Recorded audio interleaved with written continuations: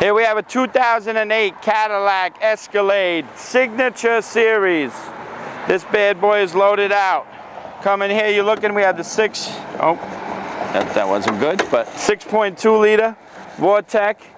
Plenty of power. You decide you want to tow anything or do some off-road, you have the ability to do that. Full size, chromed out wheels, chromed out uh, mirrors, as well as the uh, handles come in here. I mean, we have everything, everything that you could possibly want in here. Heated air conditioned seats. Also, you have the sunroof, navigation. This is uh, this is the bad boy. I mean, if you're looking to uh, to have something rolling around in serious class, basically all you need to do is add a porta potty and you can live in this thing. But uh, this is definitely the right vehicle for the right family.